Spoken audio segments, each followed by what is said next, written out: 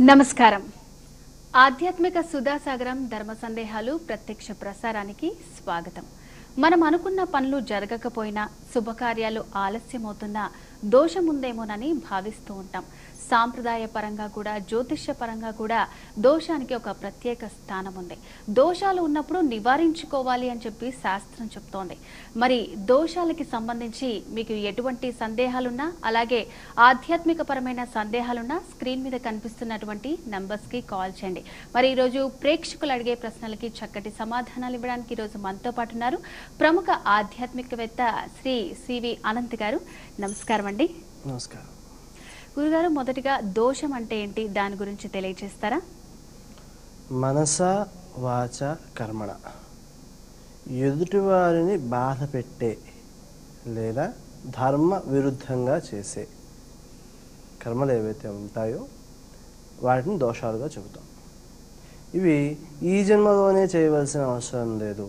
గత జన్మల్లో చేసిన కర్మలు కూడా ప్రభావాన్ని చూపించేవిగానే ఉంటాయి.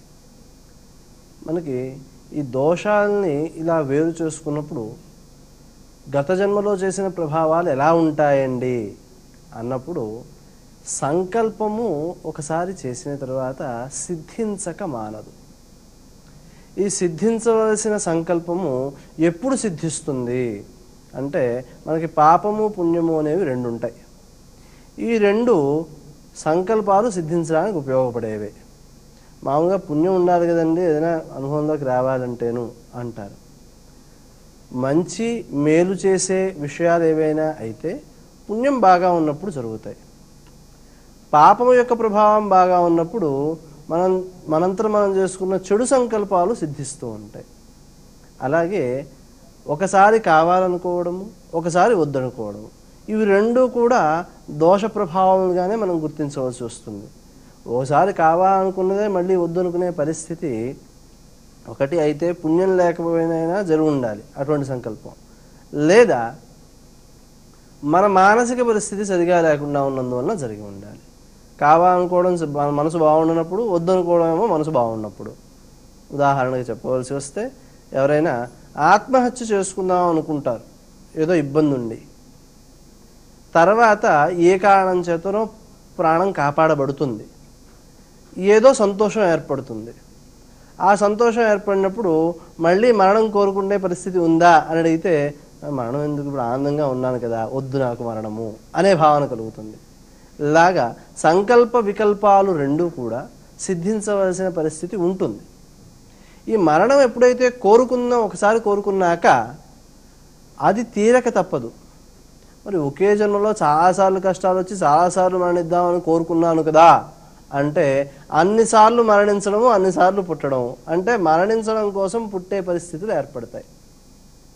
ఈ మరణించడం కోసం పుట్టే పరిస్థితి ఏర్పడినప్పుడు ఏ కర్మ చేతనో ఏ పుణ్యం చేతనో ఎవరి యొక్క అనుగ్రహం చేతనో పుణ్యం బాగా పెరిగి ఆ సంకల్పాలు నెరవేరవలసి వస్తే పుణ్యం పెరిగిన తర్వాత అన్నిసార్లు పుట్టడము అన్నిసార్లు మరణించడము పుణ్యం యొక్క బలం బాగా ఉంది అన్నప్పుడు రెండవ స్థాయిలో మొదటి స్థాయిలో కాదు.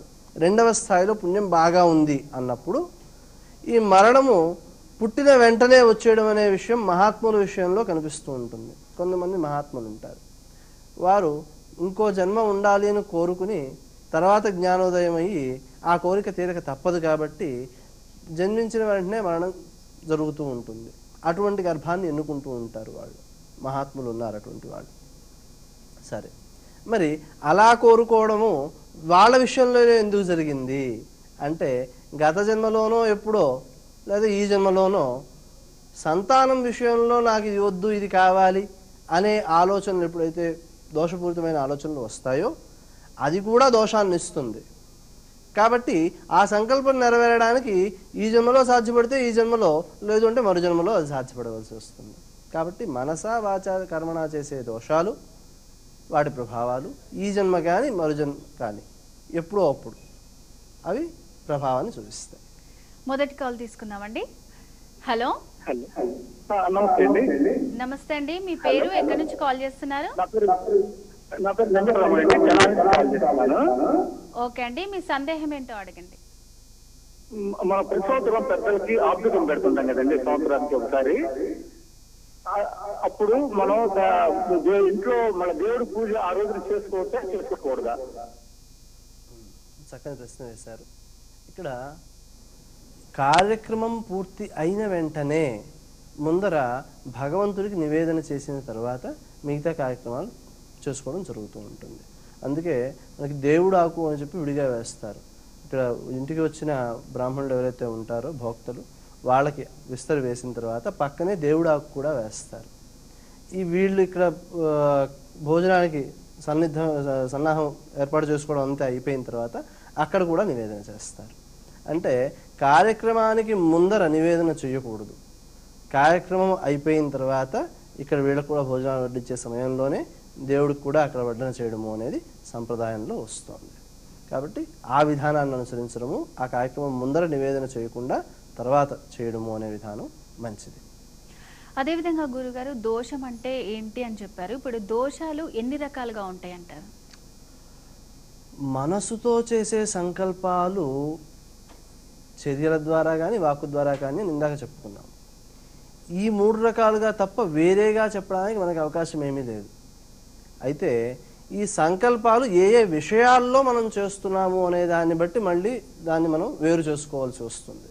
అంటే ఎన్ని రకాలుగా ఉంటాయి అంటే మనకి శాస్త్రంలో జ్యోతిషం ప్రధానంగా తీసుకున్నప్పుడు పన్నెండు భావాలకు సంబంధించిన కొన్ని కారకత్వాలు ఉంటాయి. ఆ కారకత్వాల్లో పన్నెండు భావాలు కూడా ఈ కారకత్వాలని కూడా పన్నెండు భావాలకి వర్గీకరించబడ్డాయి. ఏ భావ సంబంధమైన దోషాన్ని మనం కోరుకుంటామో లేకపోతే సంకల్పం చేస్తామో ఆ భావ సంబంధమైన దోషాన్ని మనం అనుభవించవలసి వస్తుంది. అలా వైఫ్రికేట్ చేసుకునేటట్లయితే మొత్తం అన్నింటిని వేరు చేసుకునేటట్లయితే మనకి మొత్తం పన్నెండు రకాలు అని చెప్పుకోవడానికి అవకాశం ఉంటుంది. ఇందులో భాగ్యము సౌభాగ్యము అనే మాట నవమానికి సంబంధించింది. సామర్థ్యం అనేది లగ్నానికి సంబంధించింది. ఎదుటివాడు అసమర్థుడు అని దోషణ చేస్తే ఆ అసమర్థత అనే దోషం మనల్ని ఆవహిస్తుంది. అది మన మీద ప్రభావాన్ని చూపిస్తుంది. వాక్కు విషయంలో వాడు బాగా మాట్లాడు వాడు అబద్ధాలు చెబుతాడు అని నేరారోపణ. మనసులో చేసిన పైకి అన్న. లేదా అబద్ధం చెప్పావు అని దండించిన. ఎందుకంటే కర్మ ఉండాలి కదా. ఆ దండన చేసినప్పుడు కర్మ అయింది అది. మనస వాచ కర్మణ. కాబట్టి అలాగా ఒక్కొక్క భావానికి సంబంధించిన అన్ని కారకత్వాలు ఏవైతే ఉన్నాయో ఆయా భావాల్లో మనం ఏవైతే సంకల్పాలు చేశామో చర్యలు చేపట్టామో ఆ దోషాలని ఆ భావాలకి ఆపాదించేటట్లయితే మొత్తం పన్నెండు రకాలుగా మనం అర్థం చేసుకోవాల్సి వస్తుంది. మరొక కాల్ తీసుకుందామండి. హలో. హలో. నమస్తే అండి మీ పేరు? ఎక్కడి నుంచి కాల్ చేస్తున్నారు? ఓకే అండి. చెప్పండి ఏం అడగాలనుకుంటున్నారు? గురువారికి నమస్కారం అండి. నమస్కారం అండి. ఆ, స్వామి ఒకటి కొత్తగా పెళ్ళై ఇంటికి వచ్చేటటువంటి కోడలకు కోడలికి వాళ్ళ ఇంటికి వచ్చిన తర్వాత అత్తమామ నుంచి కోడలికి కానీ కోడల నుండి కానీ అత్త కోడల నుంచి అత్తమామలకు అనుకూలత ఉండడానికి ఈ జన్మ కుండలలో జనరల్గా వధువు వాళ్ళకి ఏడో స్థానం చూస్తుంటారు భార్య స్థానం భర్త అని ఇలా కోడల నుండి అత్తమామ బాగుండాలన్నా అత్తమామ నుండి కోడలు బాగుండాలన్నా చూడాల్సినటువంటి స్థానం ఏది దాని గురించి కొద్దిగా తెలియజేయగలరు. చాలా చక్కని ప్రశ్న వేశారు. వాస్తవానికి మామూలుగా ప్రస్తుత కాలంలో వధువరులిద్దరికీ సరిపోతుందా లేదా అని చూడడానికి ప్రయత్నం చేస్తుంటేనే చాలా జాతకాలు తీసి పక్కన పెట్టవేయవలసి వస్తుంది. అక్కడ బలాబలాలు లోపించడం మొదలైనటువంటి వాటి వల్ల. ఇప్పుడు ఈ పొంతన విషయంలో వాళ్ళిద్దరినీ కూడా చేర్చామనుకోండి కేటగిరీలోకి. చేరిస్తే మనకి సంబంధాలు కుదరడమే కష్టమైపోతూ ఉంటుంది. కాబట్టి ఆ రకంగా ఆ కోణంలో మీరు ప్రయత్నం చేద్దామన్నా అది సాధ్యపడే విషయం కావడం కష్టం. అందుచేత చేయవలసింది ఏమిటి అంటే ప్రతి ఒక్కరూ కూడా ఏ విషయంలో మనం అనుకూలత కావాలి అనుకుంటున్నామో ఆ విషయంలో అది సిద్ధించడం కోసం తగిన జపాన్ని చేసుకోవడం తప్ప మార్గము వేరే ఉండదు. కారణం ఏమిటి అంటే ఒక వ్యక్తి చాలా సౌమ్యుడు. చాలా మంచివాడు. ఆ వ్యక్తి కొన్ని కారణాల చేత ఒక నేరం చేయవలసి వచ్చింది. అది చాలా తీవ్రస్థాయి నేరమే అనుకుందాం. ఆ వ్యక్తి స్వభావానికి విరుద్ధమైన ప్రవర్తన తాను చూపించవలసి వచ్చింది అంటే ఆ సమయంలో నడుస్తున్న దశ అని అర్థం చేసుకుంటే ఎంత మంచివాడైనా ఎంత అనుకూలత చూపించినా ఏదో ఒక సందర్భంలో వారి యొక్క జాతక ప్రభావం చేత దోషపూరితమైన ప్రవర్తనని చూపించవలసిన పరిస్థితి ఏర్పడితే ఇవన్నీ చూసుకునే ప్రయోజనం ఉందా? ఒకటి. రెండవది భార్యాభర్తలిద్దరికీ బాగుందా లేదా అనేది సప్తమ భావంలో చూస్తున్నాము. ఈ సప్తమ భావం నిరంతరం ఒకేలాగా ఉంటోందా? అంటే ఉండదు. దశలను మారడాన్ని బట్టి అక్కడ మార్పు కనిపిస్తోంది ప్రభావంలో మార్పు కనిపిస్తోంది. ఇటువంటి సందర్భంలో మామూలుగా సప్తమానికి చతుర్థము. భర్త లేదా భార్య యొక్క తల్లిగా మనం గుర్తించవలసి వస్తుంది. అంటే భర్త ఉన్నాడు. మామూలుగా ఒక వ్యక్తికి మాతృస్థానం ఏది అంటే చతుర్థం అని చెబుతాము అదే భర్త యొక్క మాతృస్థానం అంటే భర్త సప్తమంలో ఉంటాడు. అక్కడి నుంచి చతుర్థ స్థానం.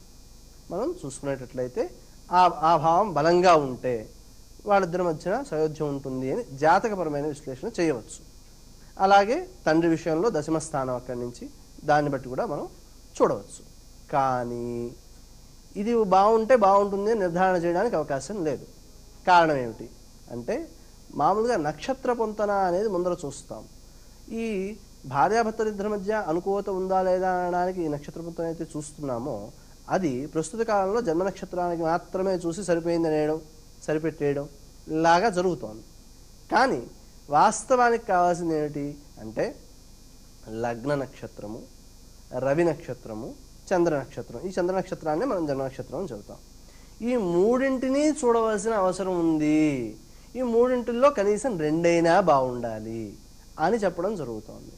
ఎందుకు మూడింటిని చూడాలి? అంటే చంద్రుడు మనసు రవి ఆత్మ లగ్నము శరీరము. ప్రస్తుత కాలంలో గత కాలంలో చూసుకున్నట్లయితే శరీర సంబంధమైన ఇబ్బందులు ఏమైనా ఉన్నా సరే సర్దుకుపోవడం అనే లక్షణం ఉండేది. ప్రస్తుత కాలంలో స్వేచ్ఛ లేదా వాక్ స్వాతంత్రం అనే పేర్లతో వాటిని కూడా అంగీకరించే స్థితిలో సామాజిక వ్యవస్థ కనిపించట్లేదు. అలాగే మానసికమైన పటుత్వం తగ్గిపోయింది. అంటే బలహీనపడిపోయారు బాగా మానసికంగాను. ఈ సామాజిక వ్యవస్థ మానసికంగా బలహీనపడినందువలన చంద్రుడి యొక్క ప్రాధాన్యం పెరిగిపోయింది. కనీసం అది బలంగా ఉంటే బాగుంటుంది అని అనుకుంటున్నారు. అదే లగ్న సంబంధమైన విషయంలో కూడా దోషం వస్తే ఇద్దరి మధ్యన ఏదైతే అనుకూలత ఉండాలో ఆ అనుకూలత లోపించి ఆ కారణం చేత విడిపోవడము అనే లక్షణం కూడా మనకి ఈ కోర్టు కేసులు అవి చూస్తే కనిపిస్తూ ఉంటుంది ఉదాహరణగా. కాబట్టి ఈ విషయంలో తల్లిదండ్రులు అత్తమామలు అనే విషయాలను చూసుకోవాల్సి వస్తే వాళ్ళిద్దరి మధ్య సయోధ్య చూసుకోవాల్సి వస్తే పుట్టిన పిల్లవాడో పిల్ల వాళ్ళ విషయంలో తండ్రి నక్షత్రానికి అనుకూలత లేదనుకోండి తండ్రితో సయోధ్య ఉండదు. తల్లి నక్షత్రానికి అనుకూలత లేకపోతే తల్లితో సయోధ్య ఉండదు. అదేవిధంగా ఆ నక్షత్రాల సయోధ్య అత్తమామలకు సంబంధించి జన్మ నక్షత్రాన్ని కనుక పరిశీలించినట్లయితే వాళ్ళిద్దరి మధ్యన అనుకూలత ఉందా లేదా అనే విషయం కూడా గుర్తించవచ్చు. అయితే ఆ పరిధి అక్కడతో కూడా పూర్తవట్లేదు చంద్రుడికి సంబంధించిన అష్టకవర్గులో బిందువులు కనుక ఆ నక్షత్రానికి సంబంధించిన రాశిలో బలం తక్కువగా ఇచ్చినట్లయితే ఆ నక్షత్రాలు అనుకూలమైన నక్షత్రాలు అయినప్పటికీ మేలు చేయలేని పరిస్థితుల్లో ఉంటాయి. కాబట్టి ఇంత విశ్లేషణాత్మకంగా అంతర్లీనంగా ఉన్న అంశాలని పరిశీలించడం అనేది సర్వదా సాధ్యపడడం కష్టమవుతుంది. ఆ కారణం చేత ఏది లేదో అది సాధించుకోవడానికి మనం ప్రత్యేకించి ప్రయత్నం చేయవలసి వస్తుంది. ఈషణాత్రయము అంటారు. అంటే ధనము భార్య సంతానము. ఈ మూడింటిని కోరుకోకూడదు అని చెబుతుంది శాస్త్రం. కానీ కోరుకోకుండా ఎలాగండి? అంటే అక్కడ దాని ఆంతర్యం అర్థం చేసుకుంటే అవి కోరుకునే పరిస్థితి రాకూడదు అని అర్థం. అది సిద్ధించడం కోసం ధర్మశాస్త్రంలో దానాలు ఏం చెప్పారో జపాలు వ్రతాలు ఏం చెప్పారో అవి విధిగా చేసుకుంటూ వెళ్ళిపోతే ఇవన్నీ విధిగా వచ్చేస్తూ ఉంటాయి. అంతే తప్ప వాటిని కోరుకునే పరిస్థితి వచ్చిందంటే లేదు కాబట్టి లేనందువలన వచ్చిన దుఃఖం ఉంది కాబట్టి కోరుకునే పరిస్థితి వస్తోంది అని దాని అర్థం. కాబట్టి ఏది లేదో దాన్ని కోరుకునే ప్రయత్నం చేయడం కంటే సహజంగా సిద్ధించడానికి కావాల్సిన మార్గాన్ని అనుసరించడమే శ్రేయస్కరము. అదే వ్రతాలు జపాలు దానాలు. చాలా చక్కగా చెప్పారండి. మరొక కాల్ తీసుకుందాం. హలో. నమస్తే అండి మీ పేరు ఎక్కడి నుంచి కాల్ చేస్తున్నారు?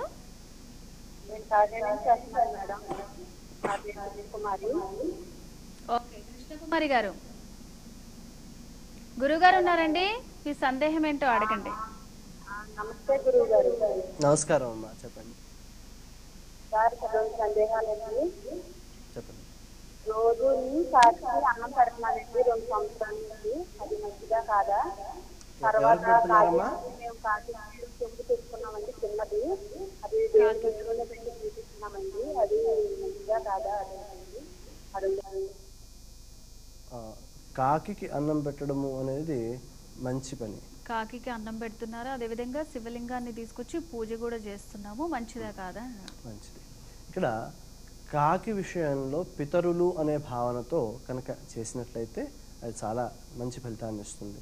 ఎందుకంటే మన ఆర్థిక విషయాల్లో కానివ్వండి సంతాన సంబంధమైన విషయంలో కానివ్వండి ఆరోగ్య విషయాల్లో కానివ్వండి పితృదేవతల యొక్క అనుగ్రహం ఏ స్థాయిలో ఉంటుందో ఆ స్థాయిలో దేవతలు కూడా అనుగ్రహించలేరు. కారణం ఏమిటి అంటే దేవతలకి అందరూ సమానులే. కానీ పితృదేవతలకి వాళ్ళ సంతతి అంత గొప్పగా వేరొక సంతతి కనిపించదు. కాబట్టి వారి సంతతిని అనుగ్రహించడానికి వారిని పూజించటము అనేది చాలా విశేషమైనది. ఆ భావంతో కనుక కాకి రోజు భోజనం పెట్టినట్లయితే అది చాలా చక్కని ఫలితాన్ని ఇస్తుంది. అందులో ఇబ్బంది ఏం లేదు. ఇక శివలింగం విషయంలో పూజ చేయడానికి మామూలుగా స్త్రీల విషయంలో శివలింగానికి ప్రత్యక్ష పూజ అనేది మనకి చెప్పబడలేదు. ఆ కారణం చేత స్ఫటికలింగానికి చేయడంలో అభ్యంతరం లేదు. లేదా పటానికి పూజ చేసినా పర్వాలేదు. ఈ శివ పంచాయతనము ఇంట్లో పెట్టుకోవడం నిత్యము ఆరాధన చేయడము లాంటివి ఏవైతే ఉన్నాయో ఆ విషయంలో యజమానే చేస్తూ ఉంటాడు కాబట్టి పూజ ఆరాధన అవన్నీ యజమానే చేస్తూ ఉంటాడు కాబట్టి అక్కడ నివేదన వరకు అభ్యంతరం కనిపించదు. ఎందుకంటే గమ్మున అందుబాటులో లేకపోతే వ్యక్తి నివేదన చేయడం వరకు భార్య చేసిన అభ్యంతరం లేదు. పూజ అనే విధి మాత్రం ఈ శివ పంచాయతనం కానివ్వండి శివుడికి విడిగా పూజ చేయడం కానీ అంత శ్రేయస్కరం కాదు. ఒకవేళ అలా చేయదలుచుకుంటే స్ఫటికలింగం విషయంలో ఆ దోషం లేదు. స్ఫటికలింగానికి పూజ చేయొచ్చు. లేదా పటానికైనా సరే పూజ చేయడంలో అభ్యంతరం లేదు. ఓకే. మరొక కాల్ తీసుకుందామండి. హలో? నమస్తే అండి మీ పేరు? మీరు టీవీ చూస్తూ మాట్లాడకండి. హలో. ఫోన్లో డైరెక్ట్గా మాట్లాడండి. చెప్పండి అమ్మా మీ పేరు ఎక్కడి నుంచి కాల్ చేస్తున్నారు పురంధేశ్వరి అండి. పేరు పురంధర్ అండి. కాకినాడ నుంచి మాట్లాడుతున్నాను. ఓకే అండి. మీ సందేహం ఏంటో అడగండి. గురువు గారు ఉన్నారు. మీరు టీవీ చూస్తూ మాట్లాడితే కట్ అయిపోతుందండి కాల్. మీ సందేహం ఏంటో అడగండి. గురువు గారు ఉన్నారు. వింటున్నాము.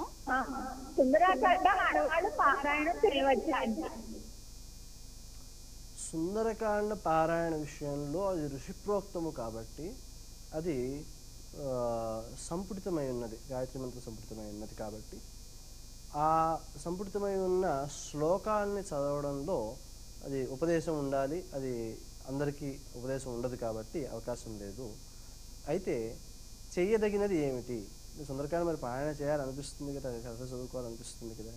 చేయదగినది ఏమిటి అంటే కింద తాత్పర్యం చదువుకోవచ్చు. ఇలాగా మనకి శ్లోకము మాత్రమే చదివిన తాత్పర్యం మాత్రమే చదివిన సగం ఫలితమే చెప్పబడుతోంది. ఎందుకు అంటే శ్లోకం తెలియ అర్థం తెలియకపోతే ఫలితం పూర్తిగా రాదు సగమే వస్తుంది. కాబట్టి అన్నింటికీ శ్లోకాల యొక్క అర్థాలు తెలుసుకోవాలంటే దాంట్లో కొంత పాండిత్యం ఉండాలి. అయితే చదివేటప్పుడు ఆ అర్థం తెలిసిపోయేంత స్థాయి పాండిత్యం. ప్రతిదానికి అక్షరం అక్షరం మనం పదం అర్థం వెతుక్కోవడంలాగా కాకుండా ఆ చదువుతూనే దాని విషయం అర్థమైపోయేలాగా ఉండాలి. సరే ఈ అవకాశం లేదు కాబట్టి ఎలాగాను దాని యొక్క తాత్పర్యం చదువుకుంటూ ఉన్నట్లయితే అది దోషం కాదు. తాత్పర్యం పారాయణ చేసుకోవడంలో ఇబ్బంది లేదు. మరొక కాల్ తీసుకుందామండి. హలో? హలో? నమస్తే అండి. మేము హైదరాబాద్ నుంచి మాట్లాడుతున్నాం. మీ పేరండి? పద్మ అండి. పద్మ గారు మీ సందేహం ఏంటో అడగండి. గురువు గారు వింటున్నారు చెప్పండి. అంటే కొంతమంది తల్లి బతికుండగా కాశీకి వెళ్ళకూడదని అంటున్నారండి. అది ఎంతవరకు నిజము ఏంటి అనేది ఆ నియమము లేదు. దాని విషయంలో మీరు ఆందోళన పడవలసిన అవసరం లేదు. అయితే ఇక్కడ కాశీకి వెళ్ళడం అసలు దేనికోసము అనే విషయంలో మాత్రం ఒక స్పష్టత కావాలి. సహజంగా కాశీయాత్ర ఎప్పుడు చేసేవారు అంటే జీవితం చివరి కాలంలో కాశీయాత్ర చేయడము అనేది గతంలో అలవాటు ఉండేది.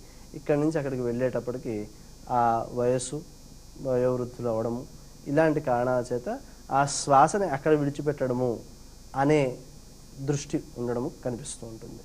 మామూలుగా ఏదైనా వస్తువు ఇష్టమైన ఆహార పదార్థం విడిచిపెట్టడము అనేది కాశీలో చేస్తూ ఉంటారు. ఈ కాశీలో చేయడం అనేది ఇష్టమైనది విడిచిపెట్టడం కదా? ఆ కోణంలోనే ఆలోచించుకుంటే మనకి ప్రాణము అంటే ప్రీతి లేని వాళ్ళు ఎవరైనా ఉంటారా? ఆ ప్రాణాన్ని కనుక అక్కడ విడిచిపెట్టినట్లయితే అది భగవంతుడికి సమర్పణ. సాక్షాత్తు ఆయన పూర్తిగా నివాసం ప్రతి అణువులోనూ అక్కడ ఆయన యొక్క స్థితి ఉంది కాబట్టి అక్కడ విడిచిపెట్టడము అనేది ఒక విశేషం అన్నమాట. అలాగా ప్రాణము ఎందు ప్రీతిని విడిచిపెట్టినట్లయితే మోక్షానికి మార్గం అవుతుంది అనే భావనతో అక్కడికి వెళ్ళి చివరి కాలంలో గడపడం జరుగుతూ ఉంటుంది. అయితే గుర్తించవలసింది ఏమిటి అంటే కాశీలో పుణ్యము చేస్తే ఎంత ఫలితం అయితే వస్తుందో పాపము చేస్తే అంత ఫలితం వస్తుంది. అంటే కొన్ని రెట్ల ఫలితం అన్నమాట అది. కాబట్టి ఆ పాపము చేయడం ఎన్ని రకాలుగా చేస్తున్నాం పాపము? అంటే నిద్ర లేవడం దగ్గర నుంచి మనము మాట్లాడుతున్నా నడుస్తున్నా మంచినీళ్ళు తాగినా భోజనం చేసినా ప్రతిదీ పాపమే. ఆ పాపం చేయకుండా బతకడం కష్టం. ఎలా అయింది పాపము? అంటే అందులో జీవం లేకపోతే జీవశక్తి ఎక్కడి నుంచి వస్తుంది మనకి? ఆ జీవం యొక్క శక్తి మనం తీసుకుంటున్నాము అంటే ఆ జీవం నిర్జీవం అవుతోందనే కదా అర్థము. కాబట్టి అది దోషం అవుతోంది ఇప్పుడు మనకి హిందీలో అయితే బాగా ప్రచారంలో ఉంది. తెలుగులో కూడా తినే ప్రతి గింజ పైన వాడి పేరు రాసి ఉంటుంది అని మాట్లాడుతూ ఉంటారు. అలాగా మనకి శ్వాస మీద నీటి మీద భోజనం తినే ఆహారం ఏదైతే ఉందో దాని మీద మనకి ఉన్న హక్కు ఎంతవరకు అయితే పరిమితిగా ఉందో ఆ పరిమితి మనము అక్కడ పూర్తి చేసుకుంటే దాని యొక్క ప్రభావం ఎక్కువగా ఉంటుంది. కాబట్టి శ్వాస తీసుకున్నా పాపమే అక్కడ. అందుచేత అక్కడికి వెడితే దైవనామస్మరణ తప్ప ఇంకా ఏమీ లేకుండా గడిపే స్థాయిలో మానసికంగా ఉండగలిగితేనే వెళ్ళడం. క్షేత్ర దర్శనం కదా విశేషమైన పుణ్యం కదా అనే దృష్టితో వెళ్ళినట్లయితే పూర్తిగా ఇరవై నాలుగు గంటలు మౌనంగా ఉండడం అవసరం. అంత స్థాయిలో జపం చేసుకోవాలి. అలా చేసుకుంటూ వెళ్ళే వెళ్ళి వచ్చేటట్లయితే అభ్యంతరం లేదు. అయితే ఈ నియమం అంటే తల్లి ఉంటే వెళ్ళకూడదు అనే నియమం చెప్పబడలేదు. అదేమీ పర్వాలేదు. ఎవరైనా వెళ్ళి రావచ్చు. ఈ విడిచిపెట్టడం అనే మాట ఏదైతే ఉందో తల్లి ఉంటే వెళ్ళకూడదు అనే మాట వస్తే అందరూ విడిచిపెట్టడానికి అవకాశం ఉండదు.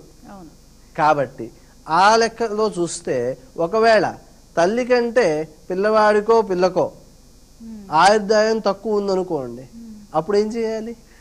కనీసం జీవితకాలంలో ఒకసారైనా కాశీ వెళ్ళి ఆయన దర్శనం చేసుకుంటే మహాభాగ్యము అనే మానసిక స్థితిలో ఉన్న వాళ్ళకి ఇది ఆటంకం అవుతోంది కదా. అంటే శాస్త్రమునకు విరుద్ధమైన ఆలోచన ప్రచారం కాబడింది అనే విషయాన్ని అక్కడ అర్థం చేసుకోవచ్చు. అంటే శాస్త్రంలో చెప్పినవి ఏవి కూడా మనకి సాధ్యము కానివిగా కనిపించవు. సామాజిక వ్యవస్థని మనం సాధ్యపడినట్టుగా తయారు చేసుకున్నామే తప్ప అక్కడ ఉన్నది సాధ్యమైనదే లేకపోతే అక్కడ ఉండదు. మరొక కాల్ తీసుకుందామండి. హలో? హలో నమస్తే అండి. మీ పేరు? ఎక్కడి నుంచి కాల్ చేస్తున్నారు? హలో? టీవీ వాల్యూమ్ పూర్తిగా తగ్గించేసేయండి. మీరు టీవీ వాల్యూమ్ పూర్తిగా తగ్గించేసేయండి. హలో? కాల్ కట్ అయిపోతుందండి. చెప్పండి ఎక్కడి నుంచి కాల్ చేస్తున్నారు? మీ పేరు? మీ సందేహం ఏంటి? మేడం మేము నా పేరు యాదగిరి. గురువారికి నమస్కారం. నమస్కారం చెప్పండి.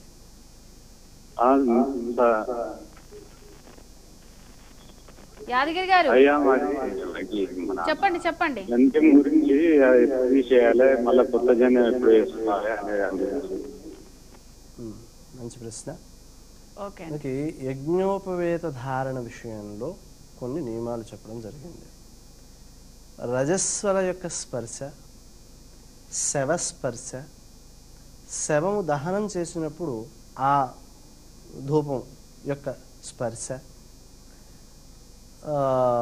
ఇతర అమంగళ స్పర్శలు ఏవైతే చెప్పబడ్డాయో అవి జరిగినప్పుడు యజ్ఞోపేతం మార్చుకోవాలి అని ప్రత్యేకించి చెప్పబడుతూ ఉంటుంది. అవి కాక శరీరంలో మనము ఈ యజ్ఞోపవేత ధారణ చేసినప్పుడు భుజం దిగడం కానీ చొక్కా తీస్తూ ఉంటే ఇది కూడా పైనుంచి వచ్చేయడం కానీ శరీరం నుంచి దూరం అవడం లాంటివి జరిగినప్పుడు మళ్ళీ యజ్ఞోపవేత ధారణ చేయవలసి వస్తుంది. అయితే యజ్ఞోపవేతం కొంతమందికి గమ్మున పొరపాటును చూసుకోకుండా అలా వెళ్ళిపోయిన సందర్భాలు ఉంటూ ఉంటాయి. అప్పుడు ఒంటి మీద యజ్ఞోపవేతం పూర్తిగా ఉండదు. ఆ ఉండనప్పుడు చేయవలసింది ఏమిటి అంటే యజ్ఞోపవేతం మామూలుగా మూడు ముళ్ళు వేస్తారు. నాలుగో ముడి కూడా వేసుకుంటారు. ఈ ము- రెండు ముళ్ళేమో మంత్రపూరితమైనవి మూడోదేమో అంగవస్త్రానికి సమానంగా చెప్పుకుని వేసుకుంటారు. నాలుగవది మంత్రముతో కాకుండా విడిగా వేసేసుకుంటారు. దేనికోసం అంటే ధర్మం కోసం. ఏమిటి ఆ ధర్మము?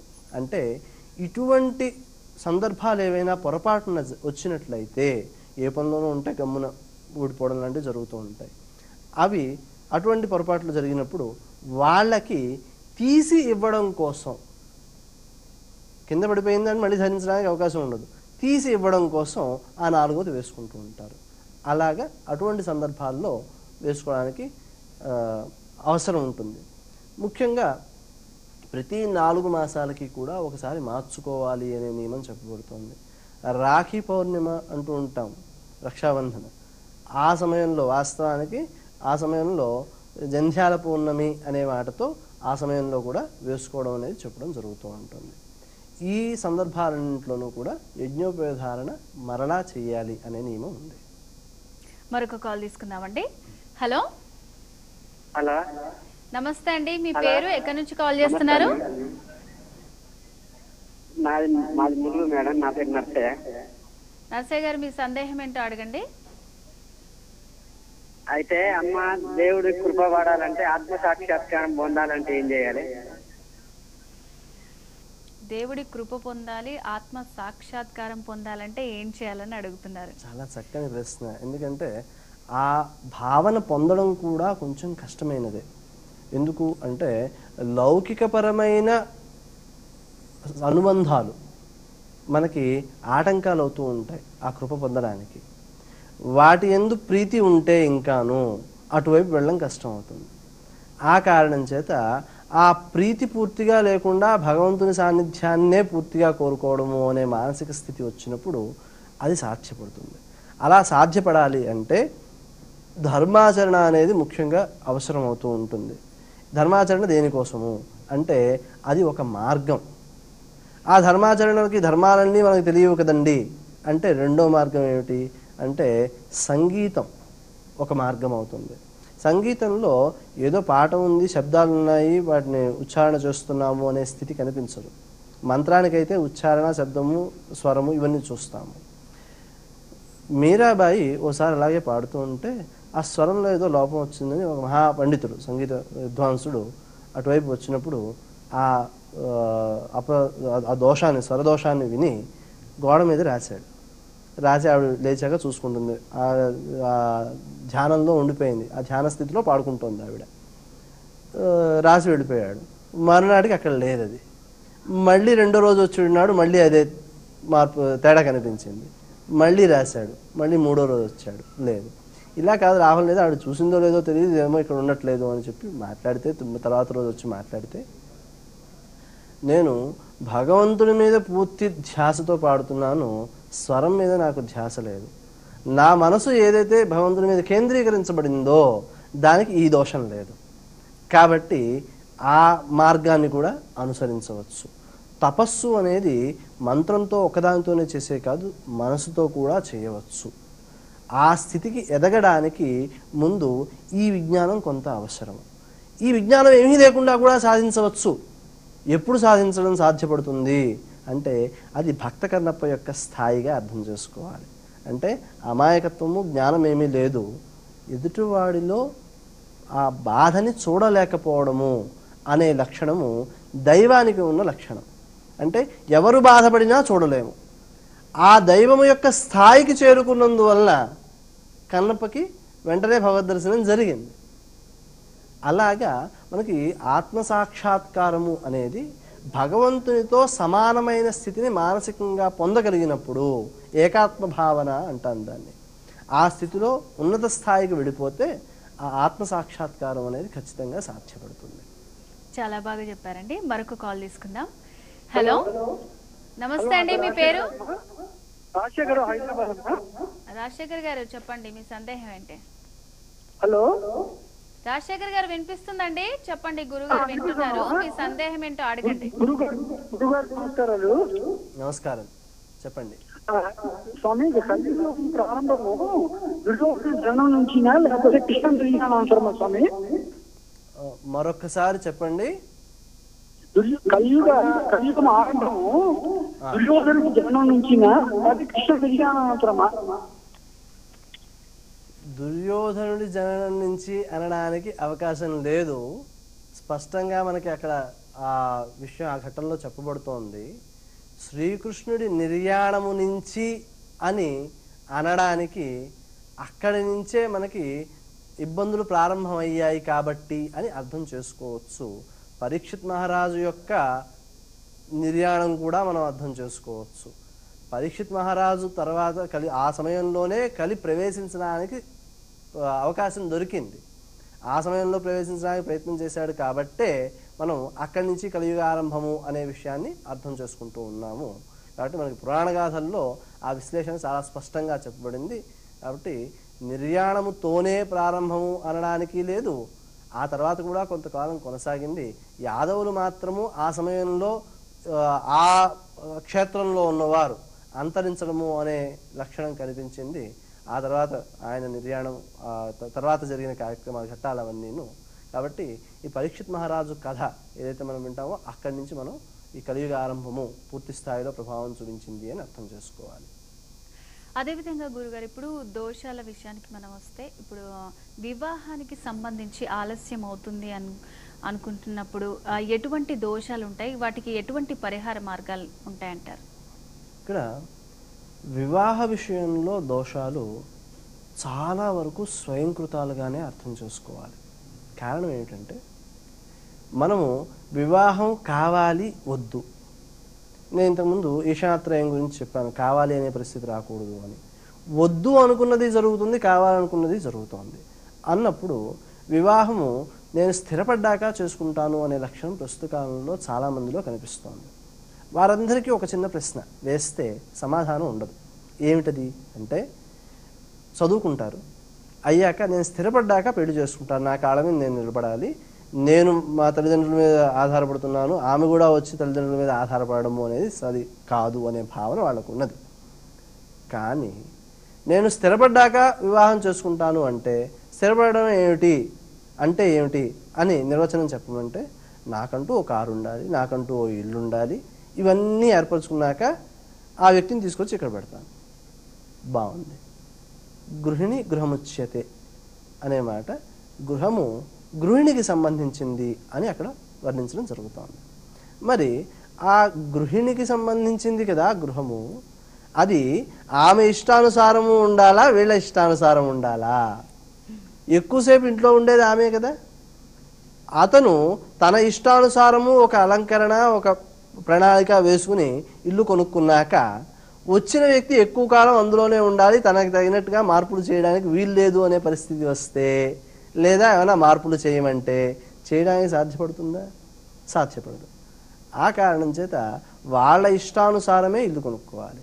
సరే బాగుందండి. అలాగే చేసుకుందాము అనుకున్నా ఎప్పుడు చేసుకోవాలి? అంటే చదువు పూర్తవుతూనే వివాహం చేసుకోమంటున్నారు ఉద్యోగం రాకుండా. ఎందుకు? ప్రస్తుత కాలంలో మనం చాలామందిని చూస్తున్నాం. ఏమిటి? అంటే చదువు పూర్తయిపోయిన తర్వాత కొంతకాలం ప్రయోగాలు చేస్తూ ఉంటారు. వ్యాపారం చేద్దామా? మిత్రులతో కలిసి వ్యాపారం చేద్దాము. లేకపోతే కొన్ని ఏదో వేరు వేరు ఫీల్డ్స్లోకి వెళ్ళిపోదాము అనుకునేవాళ్ళు. ఉదాహరణకి చదువుకున్నాక సినిమా ఇండస్ట్రీలోకి వెళదాం అనుకున్నారు. కొంతకాలం అక్కడ ప్రయత్నం చేసి అవట్లేదని చెప్పి మళ్ళీ వెనక్కి వస్తారు. ఉద్యోగం వస్తుందా? అంటే చదువుకున్నాక నువ్వు మూడు సంవత్సరాలు నాలుగు సంవత్సరాలు ఏమీ చేయలేదు కాబట్టి నీకు ఉద్యోగం ఇవ్వాలంటే స్పెషల్గా రికమెండేషన్లో ఇవ్వ ఉండాలి. లాగా ప్రస్తుతం వ్యవస్థ ఉంది. ఇటువంటి పరిస్థితుల్లో ఆ నాలుగు సంవత్సరాలు తన జీవితకాలంలో వృధా చేసినట్టే కదా? అంటే తన బాధ్యతల్ని కర్తవ్యాలని దృష్టిలో పెట్టుకోకుండా తన జీవితకాలంలో నాలుగు సంవత్సరాలు వృధా అయిపోయింది అంటే అతని యొక్క పరిస్థితి ఏమిటి? ఇటువంటి సందర్భాల్లో చదువు పూర్తి అయిన వెంటనే వివాహం చేస్తే తనకి ఏది ఇష్టమో అందులోంచి యాభై శాతం ఇష్టాన్ని విడిచిపెట్టాలి భార్యకి. ఇలా విడిచిపెట్టినందువల్ల ఏమవుతుంది అంటే ఇద్దరు మనుషులు చేసిన పని కంటే రెండు మనసులు కలిసి చేసిన సంకల్పం యొక్క ప్రభావం ఎక్కువ. ఆ కారణం చేత భర్త యొక్క ఇష్టాన్ని తన ఇష్టంగా మలుచుకునే భార్య కనుక రాగలిగితే అంత పుణ్యం చేసుకుని ఉండాలి అతను. భార్య విషయంలో కూడా మంచి భర్త రావడానికి కావాల్సిన పుణ్యం చేసుకుని ఉండాలి. భర్త కూడా సరి సరైన భార్య తనకి జీవిత భాగస్వామిగా రావడానికి కావాల్సిన పుణ్యాన్ని చేసుకుని ఉండాలి. అలా కనుక చేసుకుని ఉంటే ఇద్దరి యొక్క సంకల్పాల చేత వారు అనుకున్న పనులు సాధ్యపడతాయి. ముఖ్యంగా భర్త అనుకున్న పనులు. ఇవి ఎందుకు ఇలాగా? మనకి వింటూనే ఉంటాము. ప్రతి మగవాని విజయం వెనుక ఒక స్త్రీ ఉంటుంది. అది భార్య అయి ఉంటుంది అనే మాట. ఈ స్త్రీ ఉంటుంది అనడానికి కారణం ఏమిటి? అంటే ఆమె ఎన్ని వ్రతాలు నోములు జపాలు పూజలు చేసుకుంటూ ఉంటే తన కుటుంబం కోసం తాను చేయడానికి వ్రతాలు నోములు ఏమీ లేకపోయినా ఏదైనా ఒక యజ్ఞమో యాగమో చేద్దాము అనుకుంటే దేనికోసం చేస్తాడు? అంటే తన స్వార్థం కోసం. అంటే తన యొక్క సామాజిక అభివృద్ధి కోసం చేయడమే ఉంది మగవాడి విషయంలో. కానీ స్త్రీ చేసే వ్రతాలు నోములు అన్నీ కూడా తన కుటుంబానికి భర్తకి పిల్లలకి కావాల్సిన పుణ్యాన్నంతటినీ చేసుకోవడం కోసం ప్రయత్నం చేస్తుంది. ఆ పుణ్యం వెనకాల సహకరిస్తూ ఉంటే నేనేదో గొప్పగా సాధించేశాను జీవితంలో అనుకునే స్టేజ్లో ఉంటాడు మగవాడు. కాబట్టి ఈ సహకారం లేకుండా అది సాధ్యపడింది అంటే మాతృమూర్తి యొక్క ప్రభావమే. ఎందుకు? పిల్లల కోసం ఆమె. చేసిన వ్రతాలు నోములు పుణ్యాన్ని సంపాదించి పెట్టాయి కాబట్టి అక్కడ సాధ్యపడుతోంది. అంటే అటు భార్య కానీ ఇటు స్త్రీమూర్తి తల్లి కానీ ఈ ఇద్దరు స్త్రీమూర్తుల యొక్క ప్రభావమే ఒక మగవాని యొక్క విజయానికి మూలం అవుతోంది ఈ విషయాన్ని అర్థం చేసుకోగలిగితే అటు తల్లిని ఇటు భార్యని ఆనందంగా ఉంచవలసిన బాధ్యత మగవానిపై ఉంటోంది. కాబట్టి వివాహం చేసుకోవడం విషయంలో ఆలస్యంగా చేసుకుందాం అనుకున్నా ప్రయోజనకారి కాదు. ఇటు మరో కోణంలో ఆరోగ్య కోణంలో కూడా పరిశీలించినట్లయితే స్త్రీలకు పద్దెనిమిది సంవత్సరాల నుండి ఇరవై రెండు సంవత్సరాల వరకు ఉన్న వయోపరిమితి దాన్ని ప్రస్తుతం ఉన్న ఆధునికులు ఎవరైతే డాక్టర్లు సైంటిస్టులుగా ఉన్నారో వాళ్ళు చెప్పినది గోల్డెన్ ఏజ్ గోల్డెన్ పీరియడ్ అని చెప్పారు సంతానాన్ని పొందడానికి. మగవారికి కూడా సుమారుగా ఇరవై ఐదు ఆ ప్రాంతం వరకు చెప్పబడిన విషయం.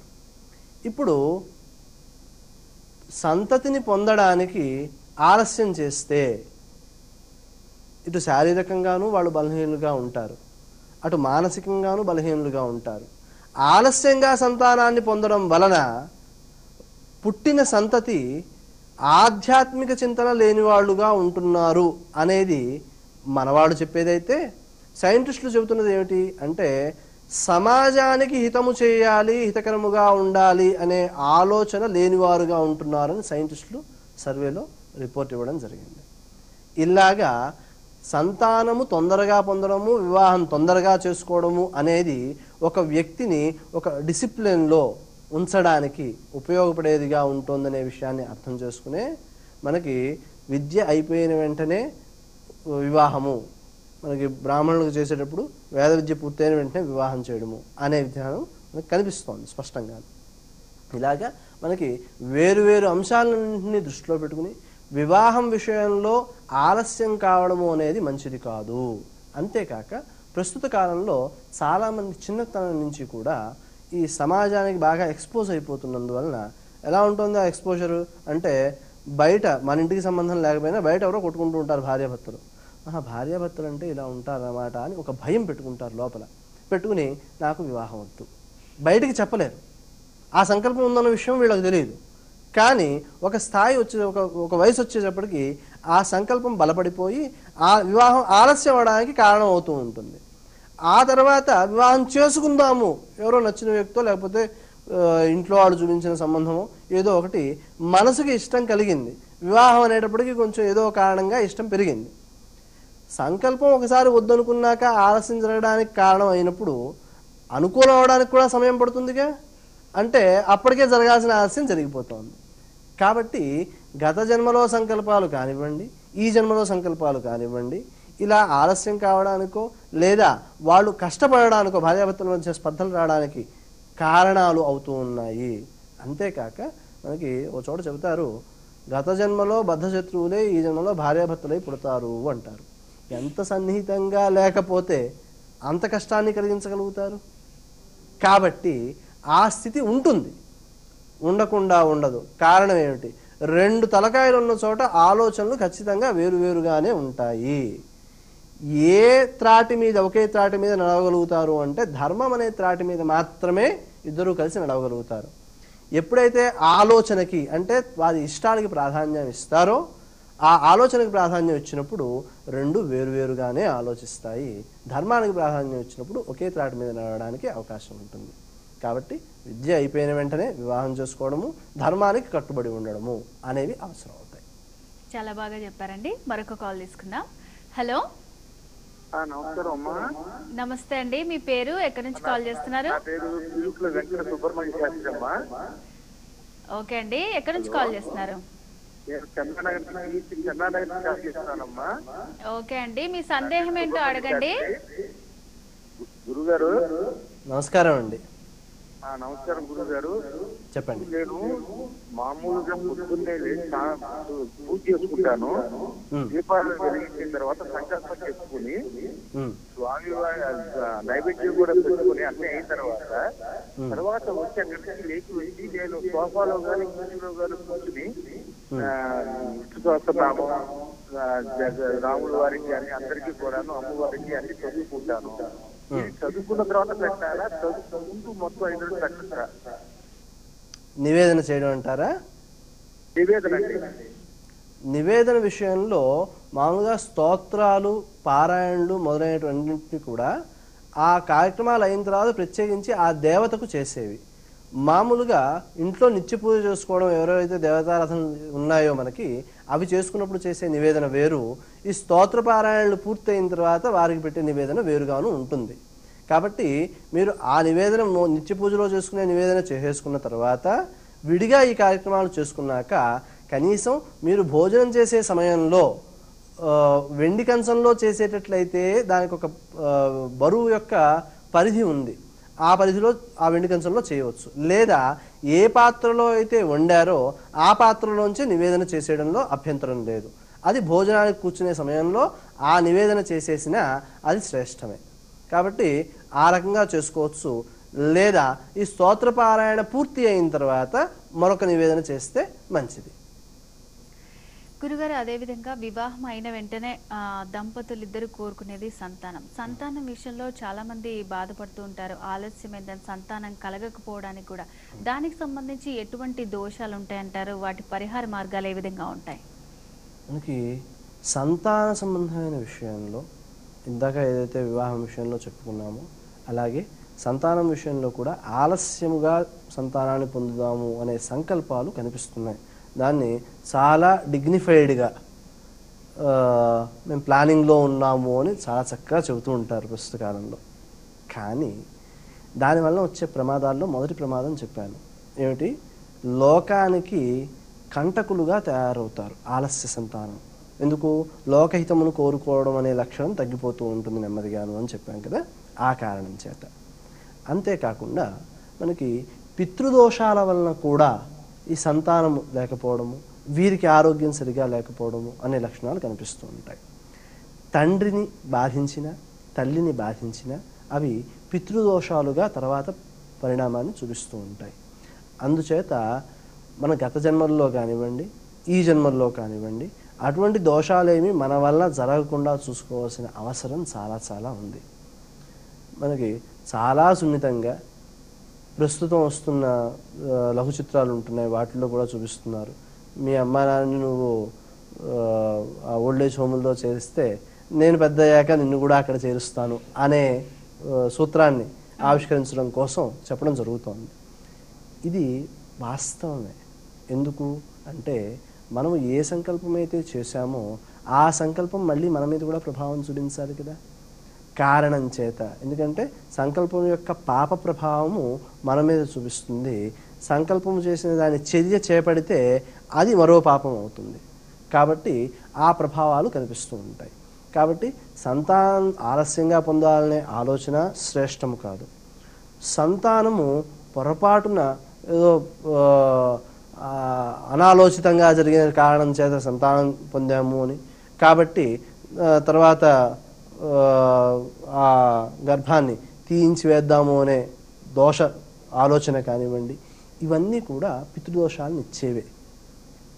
ఇక్కడ ప్రత్యక్షంగా ఒక ఘటన జరిగింది. ఈ హిప్నోథెరపీ అనే విధానంలో ఒక వ్యక్తిని ఎదురుకుండా జరిగిన ఘటనే అది. ఒక వ్యక్తిని హిప్నటైజ్ చేస్తే తల్లికి కూతురికి మధ్య ద్వేషం ఉంది చాలాను. ముఖ్యంగా కూతురికి తల్లి ఎందు ద్వేషం ఉంది. కారణం ఏమిటో తెలియదు. ఎప్పుడు ఇద్దరి మధ్యన తగాదా ఉంటూనే ఉంటుంది. ఈమెను ఆ రోజున హిప్నటైజ్ చేసి కొంత వెనక్కి తీసుకువెళ్ళి ఎక్కడి దాకా తీసుకువెళ్ళారు అంటే గర్భస్థ శిశువుగా ఉన్న ఆమె యొక్క మూడవ మాసము రెండవ మాసము ఆ స్థాయికి తీసుకువెళ్ళారు. తీసుకువెళితే ఆ సమయంలో తల్లి అప్పుడున్న వాతావరణ పరిస్థితులు చుట్టూ ఉన్న పరిస్థితుల్లో కారణం చేత ఆ గర్భస్రావం చేయించుకుందాము అని ఆలోచించింది. కారణాలతో సంబంధం లేదు. ఆ గర్భస్రావం చేయించుకుందామన్న కారణంగా అప్పుడు ఆ గర్భంలో ఉన్న శిశువు అంటున్న మాట ఆమె చెబుతున్నది. ఏమిటి అంటే నా ఎందు ప్రేమ లేని వ్యక్తి ఎందు నేను ఎందుకు ప్రేమని పొంది ఉండాలి? అనే మాట వచ్చింది. వాస్తవానికి బయటికి వచ్చిన తర్వాత తెలిసిన విషయం ఏమిటంటే ఆమెకు ఆ విషయం తెలియదు తల్లికి వెంటనే ఫోన్ చేసి మాట్లాడితే తల్లి ఇంట్లో ఇంకా ఎవరికీ తెలియదు ఆ విషయం. నా భర్తకి తెలియదు తల్లిదండ్రులకి తెలియదు అత్తమామలకి తెలియదు పుట్టని నీకెలా తెలుస్తుంది నేను చెప్పకుండాను అనే మాట అక్కడ స్పష్టంగా అడగడం జరిగింది. అంటే మన మనసులో ఉండే సంకల్పాలు వాటి ప్రభావాలు ఎంత తీవ్రంగా ఉంటాయో అర్థం చేసుకోండి. ఇక్కడ ఆమె ఆ గర్భాన్ని కొనసాగించింది. ఆ శిశువు కూడా జీవాన్ని కోరుకుంది. జీవం కావాలని కోరుకుంది. కాబట్టి ఆమె పుట్టడం జరిగింది. అలా లేకుండా ప్రస్తుత కాలంలో గర్భంలోనే మరణాన్ని పొందుతున్నారు శిశువులు క్యాన్సర్ వంటి అనారోగ్యాలతో. అంటే వీళ్ళ యొక్క మానసిక స్థితి ఎంత బలహీనంగా ఉందో మనం అర్థం చేసుకోవాల్సి వస్తుంది. అంటే గర్భంలోనే క్యాన్సర్ అనే అనారోగ్యాన్ని సంపాదించుకునే స్థాయిలో వీళ్ళ మానసిక స్థితి ఉన్నది అనే విషయం అర్థం చేసుకోవాలి.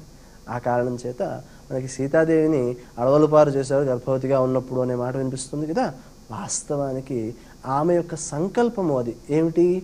ఈ ఘటన జరగడానికి ముందర నాకు ఈ పట్నం యొక్క వాతావరణం అంతా అంత రుచించట్లేదు మనం వనవాసం చేసినప్పుడు ఉన్న వాతావరణం చాలా ఆహ్లాదకరంగా ఉందనిపిస్తోంది. నాకు మళ్ళీ ఒకసారి అటువంటి ప్రదేశాన్ని చూడాలి అనిపిస్తోంది అనే మాట చెబితే ఆ తర్వాత జరిగిన ఘటనే ఇది. అయితే మనము మానసికంగా గర్భవతుల్ని చాలా ఆనందంగా ఉంచాలి. ఎందుకు అంటే వీళ్ళ విషయంలో చేసిన తప్పులు ఒప్పులు పక్కన పెడితే గర్భస్థ శిశువుగా ఉన్న వ్యక్తి జీవితకాలం అంతా వీళ్ళు ఉండే తొమ్మిది మాసాల ఆనందం మీదే ఆధారపడి ఉంది. ఆ కారణం చేత వాళ్ళు ఆనందంగా ఉండడం చాలా చాలా అవసరము. అది వాయిదా వేసుకోవడం మనకి మంచిది కాదు వారి జీవితానికి మంచిది కాదు. గురుగారు ఈరోజు దోషాలకి సంబంధించి అదేవిధంగా ప్రేక్షకులు ఆధ్యాత్మిక పరమైనటువంటి సందేహాలకి చాలా చక్కటి సమాధానాలు ఇచ్చారండి. ధన్యవాదాలు. నమస్కారం. ఖైదీ వాల్టీ ధర్మ సందేహాలు ప్రత్యక్ష ప్రసారం. రేపు ఇదే సమయానికి మళ్ళీ కలుసుకుందాం. అంతవరకు సెలవు.